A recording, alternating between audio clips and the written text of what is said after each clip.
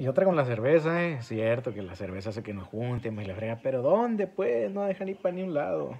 Y en las casas, ¿qué tiene? Que nos juntemos en la casa, todos nos juntamos, nadie nos está checando, no vale cuete la balacera. Pero, ah, la, cerveza sí consideraron abrirla, ¿eh? La venta. Me cancelaron los juguetes de los niños, no les pude comprar nada a mis niños porque no sé ni por qué chingados.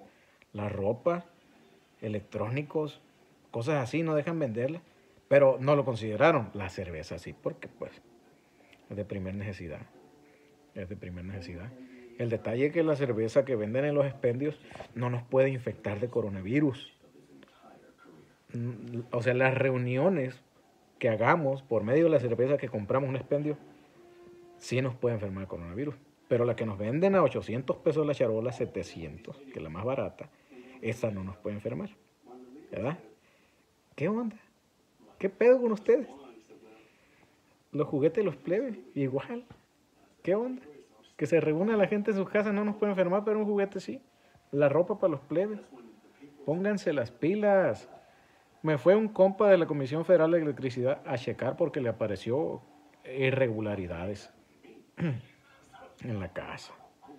¿Irregularidades de qué? Le dije. Ah, primero le dije, hey, loco, quédate en casa, maliciala, le dije. Andas, andas visitando gente, ni te conozco. Y se le curó el morro nomás. Pues ya me dijo que hay irregularidades. ¿Entre qué? Pues no me soltó prenda. Mira, le dije, la única irregularidad que te pudo salir es que por la- las dimensiones de la casa y que ya chequé en el recibo que me llegaron 175, pues te habrá parecido que la casa es muy grande como para que gaste tan poco. Ah, pues a lo mejor eso es, dijo el vato. Dije, lo que pasa es que yo no estaba aquí, no estaba nadie evitando la casa, por eso llegó ese consumo. La checó, agarramos la plática. y tan tan, todo bien.